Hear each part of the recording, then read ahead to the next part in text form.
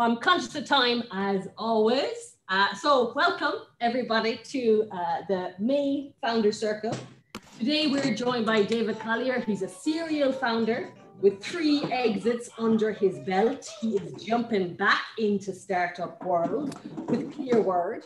So David was one of the early investors in Intercom and Trustev. Mm-hmm. He's we're delighted to have him join here today. He's going to share some of his lessons learned um, and some successes and failures and all that good jazz.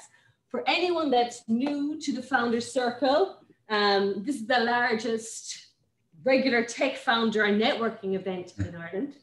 And it's a monthly event. Yeah, it's tech- culturally very different. different. It's a monthly event for tech founders to connect, to share experience, and to get um, and share valuable insights from others on the on the journey as we go from startup to scale up, and we try and master that. So here's a space for honest, rich conversations among ourselves. What happens in the breakout room, please stays in the breakout room. They are private sessions, okay? Um, the Founders Circle is powered by RDI Hub and Scale Ireland. I'm Radine O'Connor. I'm the community manager in RDI Hub.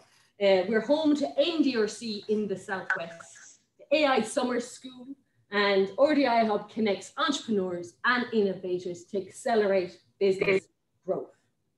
This was a big week for us because our first ever members, Taxamo, who joined us last year when we opened, um, have been acquired by a US company, Vertex, for 200 million.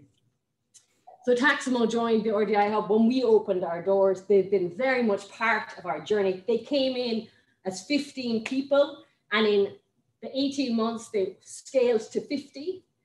That story, Taxamo story, provides that inspiration to the companies in RDI Hub and the Southwest because that ecosystem that we're creating for innovation and fast growing companies provides a stimulating environment where you have success breeding success.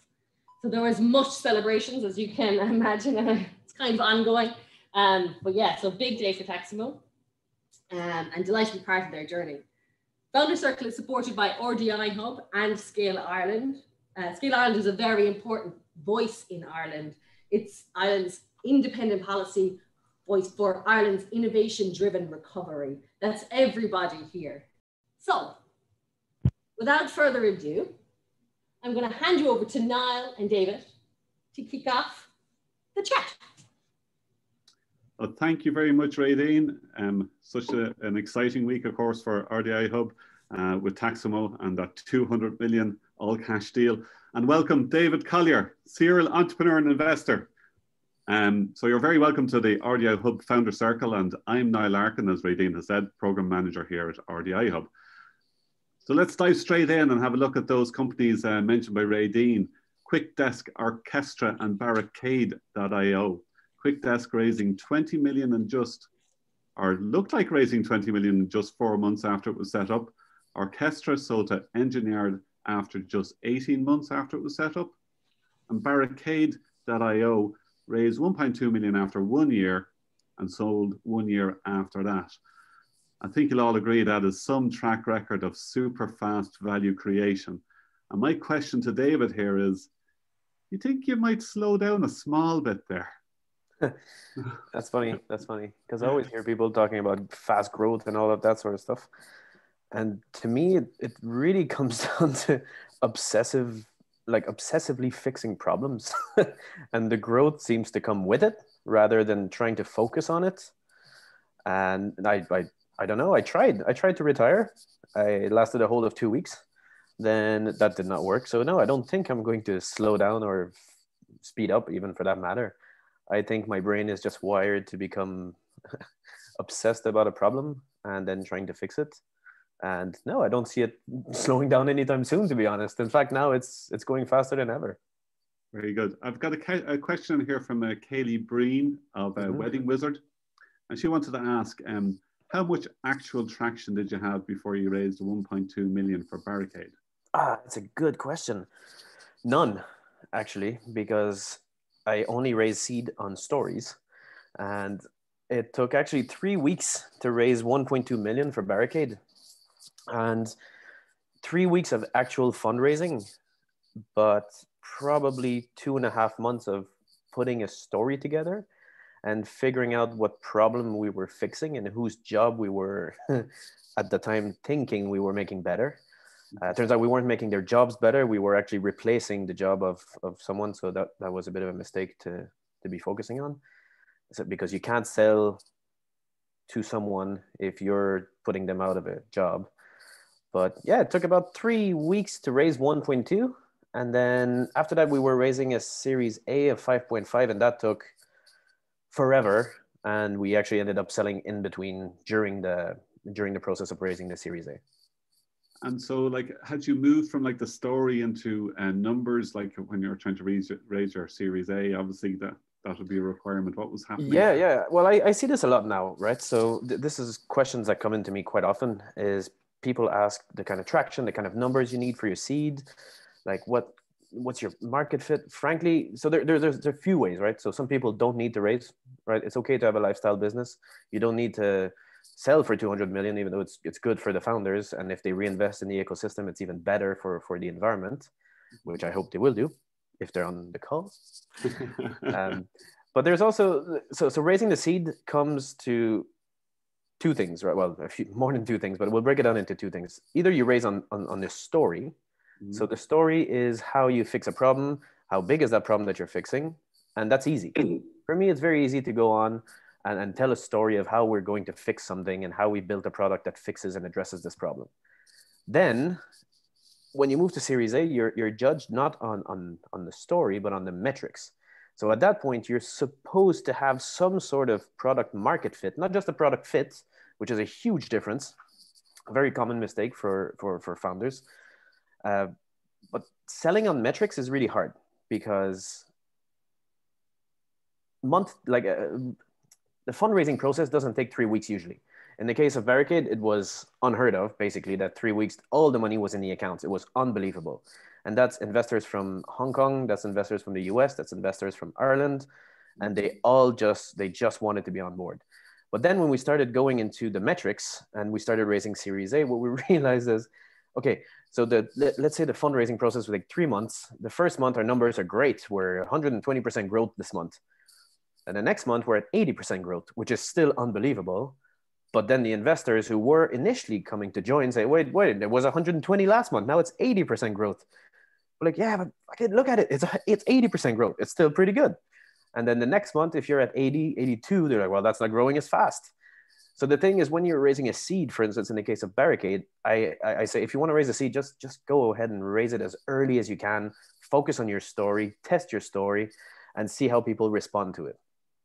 If you really have to raise on metrics, either you make the metrics say what you want them to say, so you pick the exact metrics that you want. So if your customer acquisition cost and your lifetime value are 3x, focus on that. Sell that story. And then yeah, for the for the series for seed to series A, it's trying to tie that story that you have into your metrics if your metrics are not good enough. But yeah, we can we can dig into any of those if you want.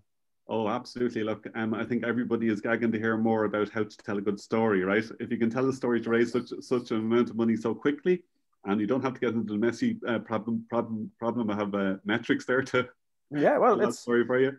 It's not hard to be yeah. honest. Telling a good story is very easy uh, first of all, you have to believe what you're actually selling. Okay. And if you just started a business because you wanted to have a business, like, you know, the, the startup lifestyle or the company lifestyle, your story is probably not going to be great. So for, for me in particular, what I focus on is uh, focus on is always the, the, the job, like how do we make one person more successful in the company? So let's say we, we target the security analyst, for instance, yeah. we say, okay, how do we make the security analysts' jobs better? And from there, we start fixing, okay, what's their problem? So it's, it's kind of customer persona mixed with customer job stories, but really making the whole deck around this and then showing that there's a market around it, like a, a total addressable market that's ridiculously big. So you go with anything. So I, I have had an advisor who said, 3 billion is too small for a total addressable market. So I try to find the largest possible market. Then I go to the, the, the lower under, which is the serviceable addressable market. Mhm. And then eventually you go the obtainable market, so which is more realistic. So you need to really identify the problem that you're solving. And that, that sounds very common for people to say, but if you do find one problem and you're really solving this correctly, and then this problem is big enough for enough people, you can make a story around this easily. It's it's making a story of that person in the company. How does that resonate with them? And then you just talk to people in those positions, and they will tell you their stories, which then you use in your story. Okay, so really good customer discovery, understand your persona, That's right. explain to um, those who, who you wish to invest how you're going to make a hero out of that individual in their Exactly. job. That's Yeah. exactly it. Yeah. Okay. Very cool, very cool. It's great to hear that from you. Um, Helen um, was saying here, uh, like Bar- Barricade is able to warn businesses uh, when they're about to be hacked. So she wants to know what can we learn from the HSE ransomware attack. Oh God, that is a polarizing question.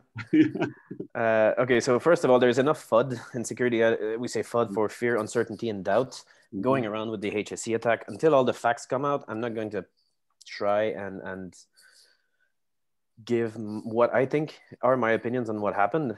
But frankly, security, it's just going to happen. Okay, from the HSE attack, what like we've been saying this for years. It's not if, it's when, and when has it happened already? Because I always assume that we've already been hacked. Hmm. Okay. So frankly, there's a lot of FUD going around about the HSE's systems and about the HSE's security groups and everything that happened. Okay, fir- first of all, ransomware is is a business. If you take it as a business and you see it's it's fully opportunistic in this case, I don't think it was state sponsored trying to undermine our position or whatever. In this case, my opinion is it was fully opportunistic, and frankly, the HSE did some audits. They are in or they were in the process of upgrading some systems and going through some of the controls they have to do and frankly security is not a, a, a black or white it's not a binary decision it's an ongoing process it's it's it's it's maturity that you go through it Okay, Now- bring, bring it to a binary question then. Should the ransom be paid? absolutely not because i'll be honest the data is already out there anyways Yeah, yeah. if Okay, anyone believes that the data is not out there already they're either lying to themselves or they're misinformed in this case. Of course it's out there already. It's already being operationalized. There's already people getting calls on how the medical treatments are going to be done faster and sold to them. I got a call yesterday from some company trying to i was like no no no no no. So the point is the hse is underfunded. The the, the Mm. office of the cio in ireland in the government is underfunded and understaffed. Like you, can't pay security professionals 65 grand a year when they will just go over the pond and an early like a, a junior security professional that's decent will land a job at 250 grand in any medium company at this point. The cio in, in this country makes what 89000 this like announced? Yeah. or anywhere else you'll get a million a year immediately. Like cios are in huge demand for big companies. And like frankly we need to pay. And it's this is critical infrastructure our security like some people see military funding and it needs to be a big thing security is the same thing it's vital to lives and in the case of the hse look there, there's there's just they're just understaffed and this country is i'd rather focus on the positive the country has a lot of really solid security professionals a lot of them anyway sorry that's that's a very Oh, that's great. Yeah, yeah. So you, you have a long, long-term interest in security, right? Back to um, bring you back to when you were 15. absolutely A little bit about Yeah. that. Your Yeah. first business. Yeah.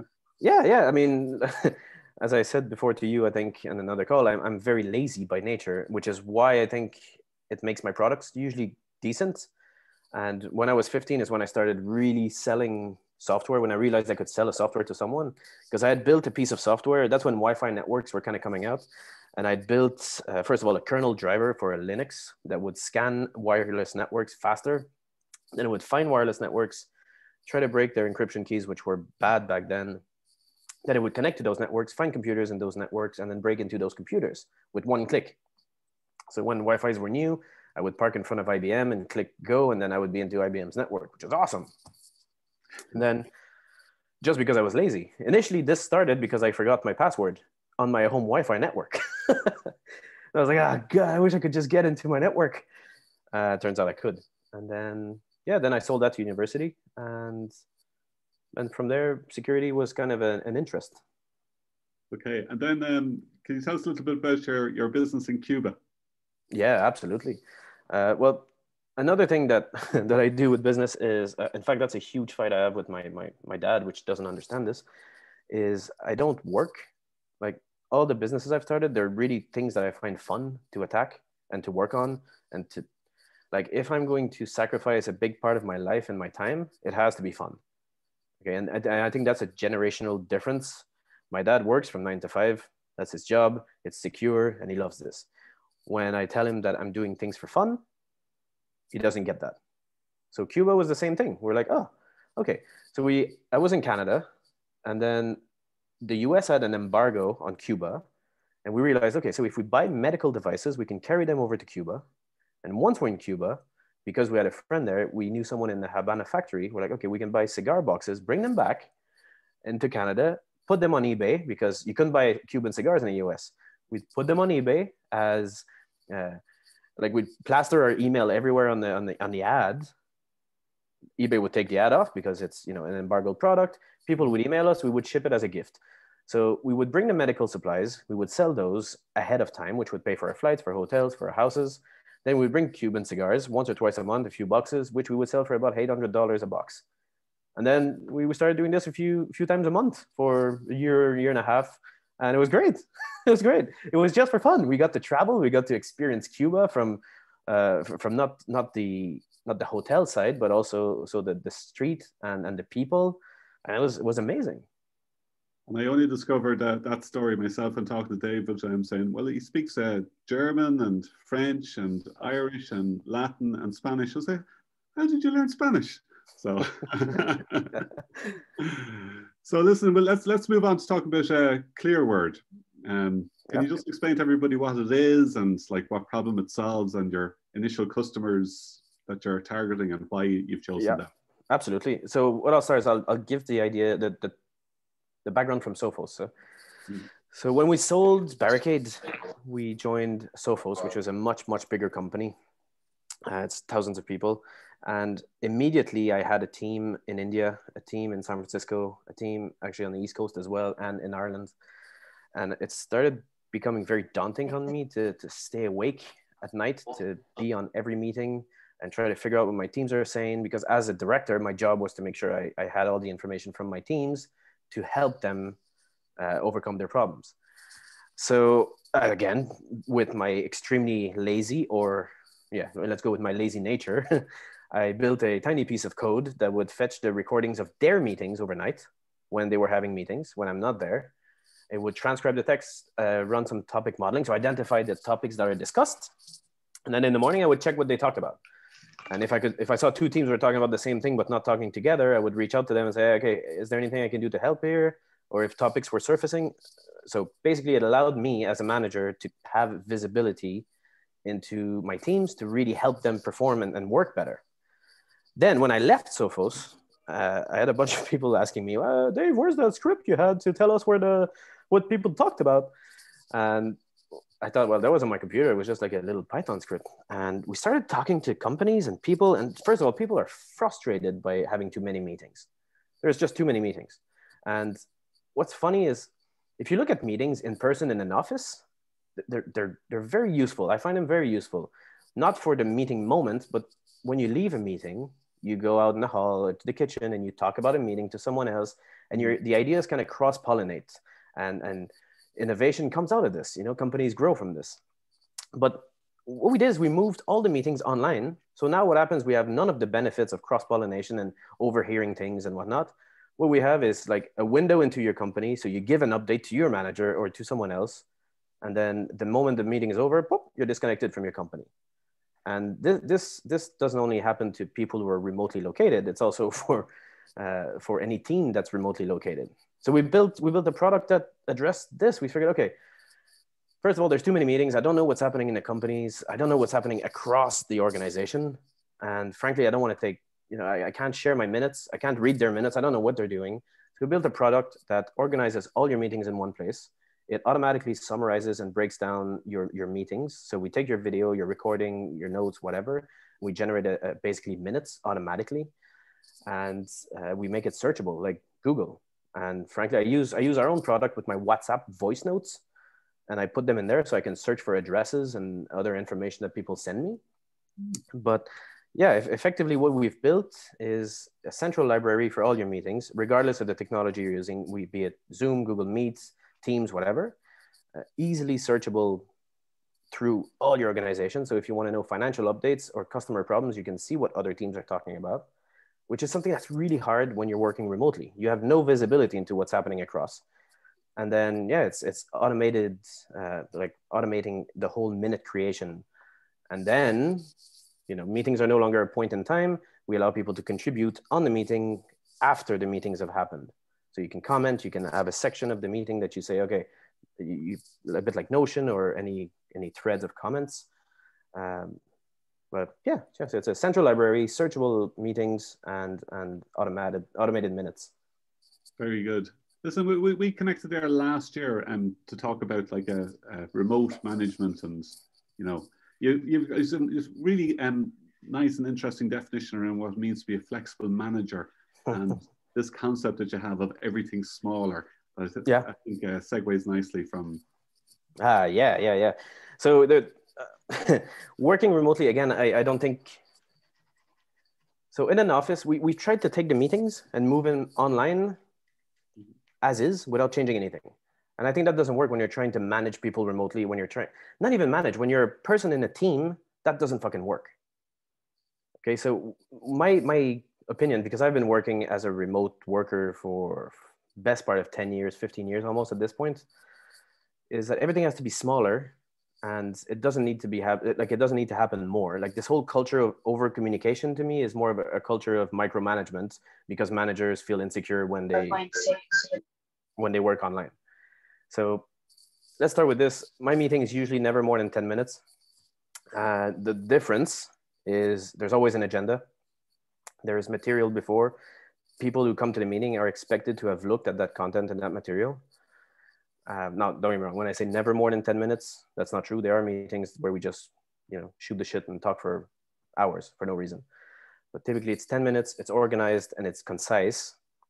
And if there are action items coming out of this, which there should be, then we can have more meetings after. But it's not about over communicating. It's about communicating slightly in a more slight, in a more efficient manner, rather. But this this is very tricky. A lot of a lot there's a lot of pushback on this in the companies and, and forth. that was infuriating to most of the other managers who basically spend their lives validating their positions as as in meetings.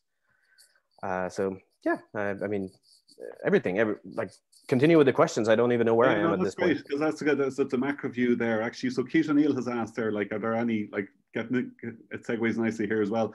Specific productivity tools that you cannot live with or without. Oh, absolutely. I cannot live now I cannot live without Clearword, but that's just a plug for my product.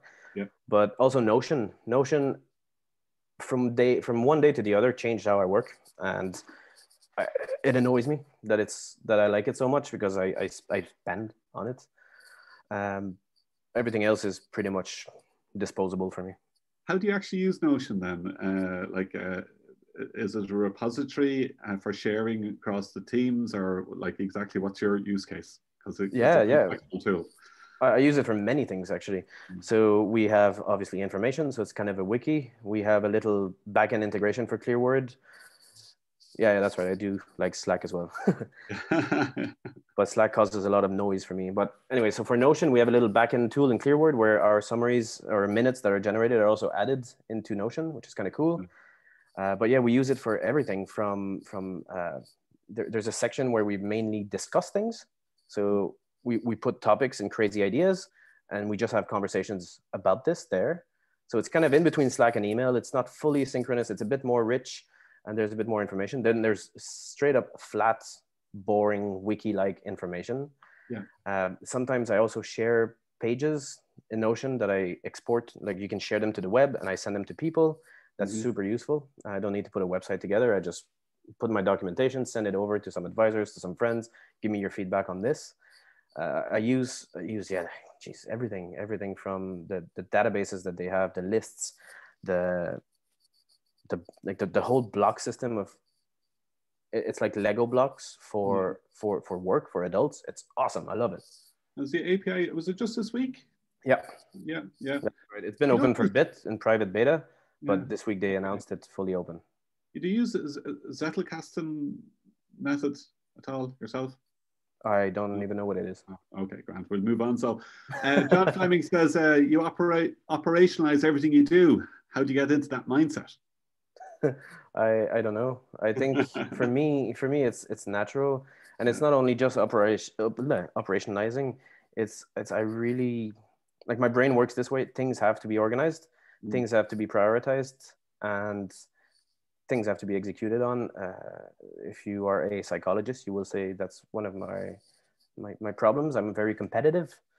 Like if I don't compete, and then I, I don't like what I'm doing in the case th- this ties to me into operationalizing everything where i come up with a process for everything and i think that's just how my brain works to be honest uh, i've over the years I've, I've spent an incredible amount of time learning how to not to do things i guess that's what that's what we would Yeah. go with like prioritizing to me is not figuring out what's important to do it's figuring out what i'm not going to do sacrificing things that are important for other things uh, prior, prioritizing is is the greatest skill that I've learned, and it's over years and years and mistakes and people hating me about it. Um, well, it's been said many times. It's a superpower for any founder, uh, any startup, right? As a prioritization. I, I, yeah, but then it spills over in my life also. Yeah, yeah. and everything I do is prioritized, and sometimes it seems cold the way I respond to people, the way I do things. Mhm. But to me, that that's part of operationalizing my life. I mean, I, I keep track of you know the times I go to sleep. I keep track of everything I do, and I try to optimize it. And it's it's all about time, and that's the only resource that I cannot raise more of or get more of is time for me and, and air technically but i have to optimize my time So knowing that that's your personality, right, and you're, you're you've been part of many founding teams, right? You know, uh, different personalities that you know always come into found, founding teams, looking for complementary people, etc. But can you tell us a little bit about how your founding teams, you know, came about? You know, there's a few different stories there, I think. Oh, there's there's a lot of stories actually. There's more than two. So we'll start with Eamon Leonard and Echo Libre. Eamon Leonard, I was speaking at a conference in Dublin, and we had a common friend from Germany, Jan Lenhard, who said, "You two need to meet." And I was just speaking about whatever open source or PHP or something, and in between the talks, I sat down at the pub, met Emo, and halfway through the pint, he said, "Do you want to start a business with me?" And in this case, it really wasn't about fixing a problem, but I knew I wanted to do more with that person. Mm. So it wasn't about wanting to start a business. It, it was about wanting to, like, somehow immediately I knew that this was going to change my life to work with that person. Mm. And it did, not only, not only professionally, but personally, he's, he's taught me a lot. Um, so I guess the first part of this is then it, it's all about the person. Uh, you know, like the founding team is all about the people you work with. Yeah. Not only friends, but people that are complementary. and not saying people that are the same, Yeah. because that just causes problems, to be honest. And never my friends, almost never my friends. Mhm. But there, there's many other ways. Uh, for Barricade, for instance, Barricade was a problem. A, a problem when I left Engine Yard. I'd been working in the security side for a while. I started building the product, and and now here's where my secret for co-founders come in. Uh, and then I reached out to one of my mentor back then, and he said, "Talk to that person." So I reached out to Dara Irwin, and Dara had no background in security. He was not a deep tech person like me. He was a designer. He's a product person. He's a he's, he's deep into psychology, and he was really good at arguing with me the moment I met him. And I like that. I like like it's very important for me because I'm not good at what's happening today Mm. and and I can see like I don't know if I'm wearing pants now, but I know that in three years' time I'm going to be wearing orange shoes, kind of thing. Mm. And the moment I met Dara, I was thinking, yeah, yeah, I can argue with him. I like this, and I brought him not in Barricade because of his security background, but because he had no security background and could provide a new, fresh perspective without the bias that we all have in the security industry. Same thing for Clodagh, which was my CFO. For her, it was straight up. She works hard. She's loyal and I want to work with her. so I, I, think founding the team, like right now, the for Clearword, I'm bringing Clodagh, Dara, Ross, and I'm trying to bring most of the team back together.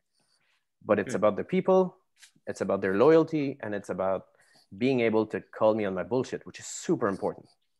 Okay, brilliant. Okay, excellent. Listen, I'm going to move on to um, your plans, hopes, and expectations for Clearword in the next 18 months. um, yeah, that's pretty straightforward. So for for Clearword, we're kind of starting to raise. I think, like I don't, I didn't want to raise because I don't need to right now. Uh, yeah. But as I said, it's easier to raise on a story, and I have a really fucking good story, and people are, are seem interested right now. There's a lot of volatility in the financial markets, which brings a lot of money into the higher risk venture market, which is awesome. Uh, so there's a lot of capital available for startups. So our plan is to raise probably two or three million as a seed, mm-hmm. and then really, really go very hard at building a team in deep tech. So for us, like we, we have, we say AI, we have actual machine learning behind the scenes, some very advanced models. Uh, we want to operationalize this and make it scalable at, at scale to really have more. So it's, it's hiring a team of deep tech people, but then also sales, hiring salespeople to find, well, initially it's to find the market fit and hiring a team that will find the market fit and really work on it. And then it's just exploding the sales because it's it's easy for me to tech is easy. It's easy for me to go into my code and and this is safe and this is where I control every little variable and it's it's beautiful. But in the next 18 months is bring the money in from either investors, market fits, and then grow the sales team. And when we joined Sophos, like for me as a tech nerd, the sales is hard.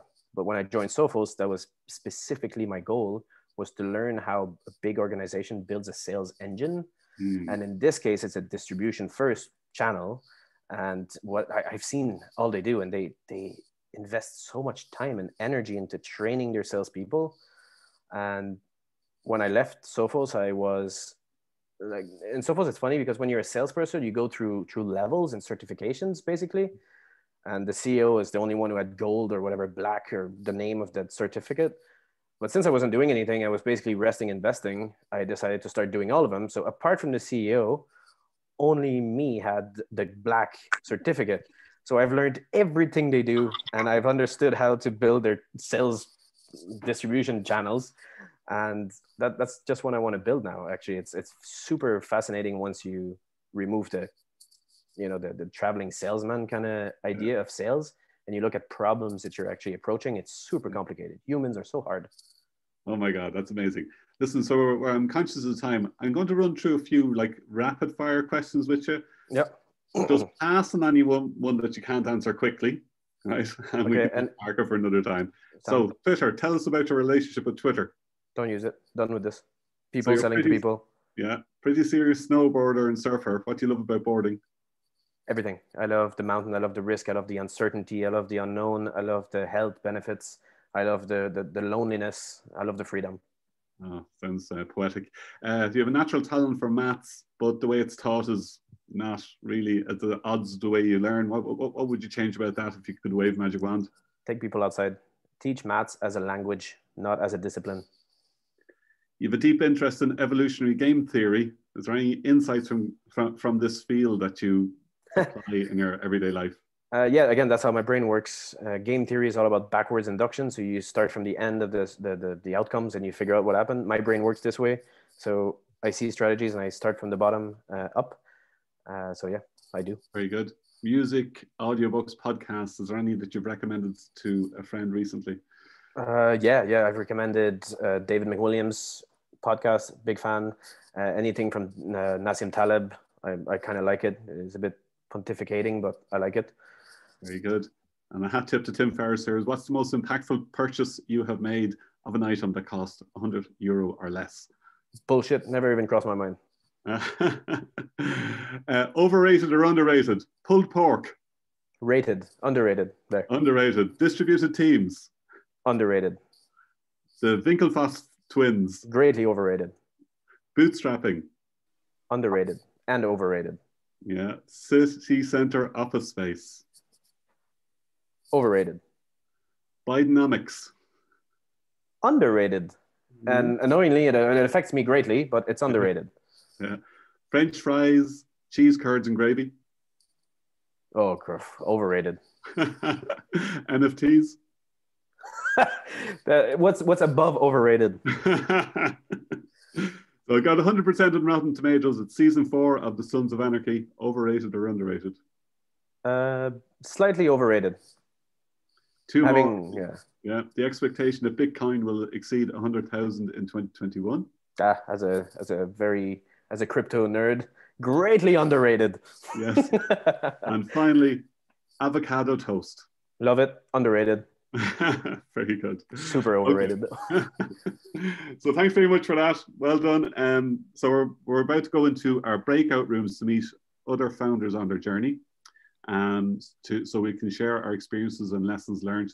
And each room will have a facilitator, and we'll be back here at twelve for Q and A with David. Uh, any follow up questions there for David? Having had the discussion, um, pop them into the chat there and we'll uh, I, I'll ask you read it ask you to unmute and ask uh, David directly When I'm looking at all those those comments, actually, it's it's funny because this is exactly the problem we're addressing at Clearword. It's everyone who says, "Oh, sorry, I have to pop up. Sorry, I have to pop off, and sorry, I have to go somewhere else." It's very interesting because that's the whole idea of working remotely. Sometimes distractions are, are vastly different than in an office, and you have to leave, and you miss parts of it. What if you didn't have to miss any part? Anyways, so I So find I'm it very going, to, I'm going to call on Luke there Luke Murphy could you just unmute there and ask David your question Yeah, no problem. Hi, David. How's it going? And so, yeah, so my question is um, how do you collect and summarize uh, customer interview insights? Um, and if you do that with Notion, what's the best way to do that? So there's only like right now the customer insights that I'm interested in are that's going to sound very stupid, but it's not what they like. It's really their objections. So one thing I've learned at Sophos is training objection rebuttal is incredibly f- valuable for your sales teams. So right now in Notion we have basically a big table database that contains objections. Um, it's it's the questions they ask how like sometimes i can't rebut i can't i don't have an answer and that is also fine but for us it's customer calls customer emails customer discussions anything in the park online anywhere it's about the objections for me anything else at this stage for clearword again it, like i've done it multiple times and i still don't know what i'm doing to be honest with you i have no fucking clue what i'm doing so right now all i'm trying to do is figure out what people dislike what's worrying them and how I can address those questions. Because when they tell you what it what what's blocking them, that means your messaging is shit, and you have to address this. And once you like, what we've started noticing is, if more people like one of the questions that came up initially it, right away was, uh, do I have to use a new new video tool for Clearword? Do I have to switch to Clearword? I was like, no, no, no. Just you can use Teams, Zoom, whatever. It doesn't matter your technology. We just add value to your data. Then it started coming up and over and over again. Then we realized, oh, well, that's like initially the, the normal reaction is "Ah, people just don't get it and then you're like okay wait wait wait people do get it we are being dumb here that came from the objections objections are super super important because they give you a very critical look at you and your business and your messaging. And that's literally all i track right now. And then there's obviously levels of interest and the normal sales pipeline from qualified leads and all that sort of stuff. But at our level in this moment it's it's all objections. And i will continue doing this throughout the life of, of the company through ipo i don't care what level of the company is. Sophos had a huge database of objections so if you have any word related to an objection from a customer you could search it you could uh, have the reviews of it so for instance for us in clearword i also put the the meetings with objections in, in the objections team and we can go back to see them but it's all objections for me. And in Notion, it's just a big table. I put the date, the link to our Clearword meeting, the link to the email, copy something, screenshots, anything I have. But it's all about the objections and the solution and the answer you have to give to this. Then your message is, is on point. It's always the same and it's it's clear. That's great. Thanks very much. Very good. Thanks. Great question. Uh, Ian Jones, would you Hi. unmute? Thanks, Niall. Uh, hi, David. Thank you very much for your time. Uh, so, a lot of people in the room got a lot from your conversations, uh, mainly all starters uh, or founders starting up. Who's the first hire when do you make it and why do you make it? Well, first of all, immediately. And it's funny because it's not about the tech, it's not about the product, it's about being complementary. So I'm deep tech. I will not hire someone who's deep tech because he's my friend or she's my friend. It's really figuring out as a person, as a founder, what you're really shit at and finding someone who isn't shit at this. And also someone who you are willing to spend an incredible amount of time with. And it's okay to argue. Arguing is super, super important. Uh, but for me, it's it's someone who will catch the things I'm bad at. So it takes quite a bit of introspection. For me, it took failures, it took introspection, it took time to figure out what I'm not good at. But once you accept this and you stop craving validation of other people on the things that you need, you say, okay, I'm not good at these things. And then you meet people and you say, are they good at that? For instance, Clodagh here, she, she run, I, I could not run a business without her anymore. She runs the day to day for everything finance and everything because I can't, I honestly, I can't do it. So that would be my answer. That's a complimentary person. It's a great segue into, thanks Ian, uh, to Fionnuala O'Callaghan from RDI Hub. If you're there, could you share your question? I sure am. Just a second now, not I find my actual question. Oh yeah, okay. So your background is in tech, but how are you able to jump the mindset to the customer's needs? because I've always been selling things. I, I'm I'm lucky enough that I grew up with a mom who was very entrepreneurial, and I've always sold things. Uh, I, I sold you know DVD rips, and in school I was selling basically anything I could find, and I, I kind of like the human interaction of selling. I, I like the, the it's almost gambling, and it's stressful, and it's awkward, and yeah, it's not a jump for me as much as it's like it's kind of a lifestyle. I like haggling with people. I, I find it fun. I find it interesting. And being rejected is not a problem I have. And for me, it's very different than most people. Uh, but for people who are not used to selling, I think before, so sales is all about rejection. It's all about being able to handle rejection on a personal level. And I'm a big fan of the 100 day rejection experiment. So if you, if you, if you don't know about it, Google it, find a, it's called the 100 day rejection experiment. And it's just some lad going around doing crazy asks to people. Like he goes to let's say Burger King and he says, "Can you put four burgers and a, a pound of sauce or whatever?" And and people do it. You, you realize that first of all, being rejected is okay because frankly, no one cares about your problems and what you're asking. But once you learn how to deal with the rejection, then the selling becomes kind of natural. I think. Like for me, I don't mind if I look like an idiot but this unlocks me for, for, for a lot of stuff when it comes to selling because then i'm not shy about someone saying nah that's stupid so yeah i'd say it's not a jump as much as it's a it's a mindset change so the, the 100 day experiment is, is something I, I, I give to all the companies i've worked with who struggle at selling oh, very good thank you thanks Fionnuala so what initially attracted me to snowboarding i don't mind looking like an idiot and I, I don't mind that's why the difference is the same thing. I jump a 10 meter cliff, I will most likely pelt myself, and that's okay.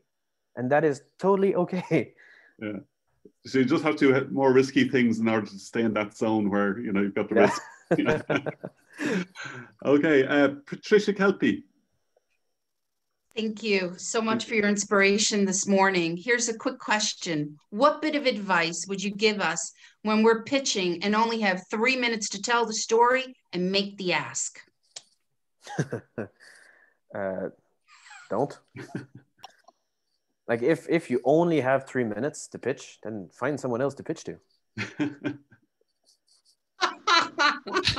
no, it's fine. Look, refine refine your message. One of my mentor said you have to pitch yourself in 60 seconds. He said write it down and repeat your speech. Listen to yourself, record yourself. And if it's more than a minute, you won't be able to tell anyone what you're doing or about yourself. So what I started doing is I did record myself and I hated my voice. I still do, by the way. And he said, okay, now remove all the hums and remove all the, the interjections that are useless and focus on what you want to do in one minute. Uh, yeah, it's it's it's hard. Like sometimes if it's just three minutes, nail your pitch. That's all. What's your problem? What's your solution? That is all. and your ask is pretty simple, most people are scared of asking. This comes down to the same thing as selling. It's the rejection problem. I have no problem bold faced to someone saying I'm raising 12 million euro at a valuation of 100 billion. And they say, wow, how did you come up with that valuation? Like every other startup, I made it up. It doesn't, it doesn't matter. The idea is confidence and not being scared of being rejected, but just nail your, your problem, your, your, your solution. And if you have more time than in your three minutes after recording yourself, then explain why now and why you, and then ask, just ask and it's it's okay after three minutes to say, look, I, I want to follow up on this. Reach out to me. Be bold and ask. It's transformative. Yeah, that's great. Fantastic. Fintan Kennedy. Hi, uh, thanks, David. And uh, I love your uh, the, the, way you embrace vulnerability and go for failures and, and learn from them. And just when you talked before, you talked about your golden folder when you set up a business and Ooh, yeah. getting it ready for for a deal straight away. How do you structure that from? And I'm sure there's been, they haven't all been successes. Oh no, there's many non-successes. Uh, so the golden folder for me is very important uh, because it's the one true source. It's, it's, like the your your what's the word? It's your golden source of truth, if you want, and it just saves you time in the long run, but it also saves you time for normal admin tasks. Okay, so the golden fo- folder for us as different subfolders. There's financial problem or financial problems. Yeah, sorry, startups. There's financial folders. There's uh, research and development folders. There's employee folders, contracts, all that sort of stuff. I mean, I think it is still relevant. I'm always prepared for an acquisition, but I never seek out for an acquisition. I've, I've never once sent an email saying, "Hey, do you guys want to buy us?" Really, like I, I every single startup that I've heard that started saying, "Ah, yeah, they're gonna acquire us," has failed. So if you start with the end already planned into an acquisition, you're not trying to solve a problem, you're trying to get out of a problem before you started. So for me, yes, the golden folder is relevant because I've gone through it. I've gone through many times where I don't have it, and it's, it's frankly it sucks, and it takes months and lawyer works and, and a lot of problems. But for most people, I would say you don't need it yet. Just just focus on your business focus on your problem don't try to, to take shortcuts to leave because startups are all about shortcuts and that is vc and that is investment pushed usually. Same for bootstrap. Bootstrap you have no money. You're trying to get somewhere. You take shortcuts. The golden folder is a shortcut that i usually don't take. I didn't start one now for clearword yet. We didn't start one yet. But eventually we will. And and and i don't plan on selling clearword. I probably will based on my track record, unfortunately, but I don't plan on to, on, on selling it. So I don't know if that answers your question or if it just creates more questions. But yeah, it does. No, it was just it was more the learning from the other ones from the previous that you. Okay, so then yes, going through previous acquisitions, not having it was a pain in the ass. Having it was still a pain in the ass because acquisitions are terrible processes to go through. But if you have some of your ducks in a row, then it's, it's slightly less painful. Let's go with that. Cool. Thank you. Great. Um, so Alan Boyle has a question. I know that I asked you myself of later. I'm sure it's in many other people's minds. Mm-hmm. David, thanks a lot. A very operationally efficient talk. Enjoyed it. Um, but in terms of the way you manage your time to a T, mm-hmm. eight hours sleep, overrated, underrated? Why? Very well. Depends for people. So it's it's extremely subjective, right? Uh, for me, since I'm a kid, more than four is affects my my my day to day. I can't I can't work. If I have more than four hours sleep, I'm uh, inefficient. So instead, I've optimized my time for this. So I sleep four hours and I have one or two power naps during the day. But that's since I'm like two, three years old. My daughter's the same thing. She, I, I walk up in the middle of the night, walk around her room, and she's like this. So eight hours sleep. Right now, I'm trying to do it because I'm working on losing weight and I understand the biochemistry of it and it's useful. But look, sleep. It's a, it's about your balance. like I, I'm I'm not going to tell you to sleep 10 hours. I'm not going to sleep you to tell you to sleep two hours. That's that's what people in San Francisco do. They they pontificate and they try to give you new mm-hmm. lifestyles and tell you to fast and then they tell you to stop fasting. They tell you to sleep more, sleep less. I, I think it's just it has to be a bit a bit more chilled. Figure out what works for you. If you have kids, if you don't have kids, if, if you live, if you need to sleep, if you don't, it doesn't matter. Sorry. no, that's excellent, excellent. Um, so uh, one final uh, person to come online, Martina Fitzgerald. She had a, obviously a very active room there. Lots of questions coming out of that. If you could come on, Martina, and uh, represent the room, that'd be great. All right, and I do. We have a lot of questions. Owen Ferris wants to know if David tells his advice tells when he's doing a pitch. Do, do you say that you're lazy? Do you absolutely first thing? Really, honestly, one hundred percent. I will send you recordings that shows immediately. I tell them, look, we built this because I'm lazy. Okay. I want, uh, but really, it's not laziness. It's it's really an obsession for efficiency. But yeah, Okay, Kirsten Kraus, has joined us from South Africa, he asked us to to ask you about his, your mistakes along the way. That it can't be that easy. So basically, I think you hit on that. Um, that uh, how many failures you have, basically. Oh, in dollars or in business numbers? Um, let's go with failures from first of all, not fi- confusing product fit with product market fit, uh, confusing champions in a company when you're trying to sell and finding market fit uh, to, to confusing the champions with promoters uh, or with, with early adopters if you want. Uh, I've, I've yeah, burned through investor money in months because of the, let's say, strong disagreement with founders and bad directions. I've wasted time. I still waste time sometimes. Everyone wastes times. Uh, wastes time. Um, what else? I mean, there's so many fucking failures. I don't even know where to start. Uh, once I was trying to sell a company, but I had shared intellectual property with another company I owned that caused a massive amount of problems during the acquisition. Uh, that's why I say I have 3.5 acquisition under my belt because they had to buy the two companies, which that caused a whole set of problems, which did not have a golden folder either, clearly, because the IP was shared in two companies. Uh, what else is there? I've also been on the side where I have the IP, which is great. I'm the only one who made money in some cases because the company crashed after they needed the IP and they didn't want to pay me for it. In hindsight, that was not a very good thing to do, but I, I did keep my IP for myself and the patents. Um, yeah, I mean, it, professional mistakes I was working as a consultant when I was about 19, and people realized I'm really good at being direct and blunt. So the consultancy firm that I was working for, which was a hedge fund, uh, started sending me in to fire people. So I would go into companies they invested in. Eventually, I wasn't writing software anymore. I was firing people. So I would go in a company, not know anyone. Everyone's like 34, 30, 40, 50 years old. They have families. And at that point, I was just making a ton of money. And I would walk in, you know, optimize their process and fire half the company. So, you know, slim down. This personally, not something I'm too proud about. I would not do that again. Um, so that that's that's personal failures that you learn from. Uh, failures personal also. There's not investing enough time in myself during previous startups. I mean, startups are massive sacrifice. So if you don't learn how to balance your life, it caused a divorce. It caused my daughter to call me FaceTime because I was gone for four months when she was born. Uh, there, there's plenty of really big personal, professional, and, and, and, and life failures, I think, through the process. I don't know where to start. There's too many.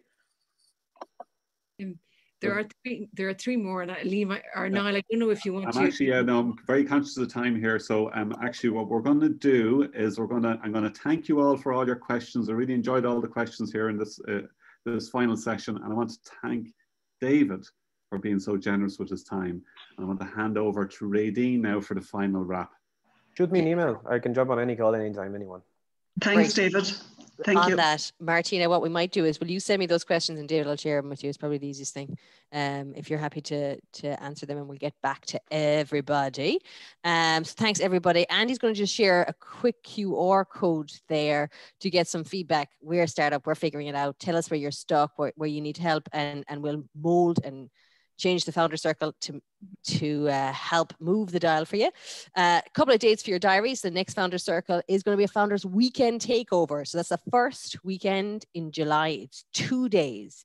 You join the session if you're a founder who wants to perfect a pitch, if you're looking to expand your team or find a co-founder, and a founder who um, who wants to spend intense time doing like customer validation so just some downtime you get to meet and, and get mentoring from some of the most successful entrepreneurs in our ecosystem, which is um, something I'm really looking forward to. So that's the first weekend in July. I'll send around something after uh, with a link to that. Um, to our facilitators today, to all the founders who joined us, a huge thank you. But again, just saying what Niall was saying, a huge thank you to David. Um, because you were really open and honest. And I think especially towards the end there, you were talking about the sacrifices. We don't talk about them enough sometimes. Um, so get under the hood of your how your mind works uh, and how you embrace rejection was really, really. Uh, I'll be thinking about it for a while.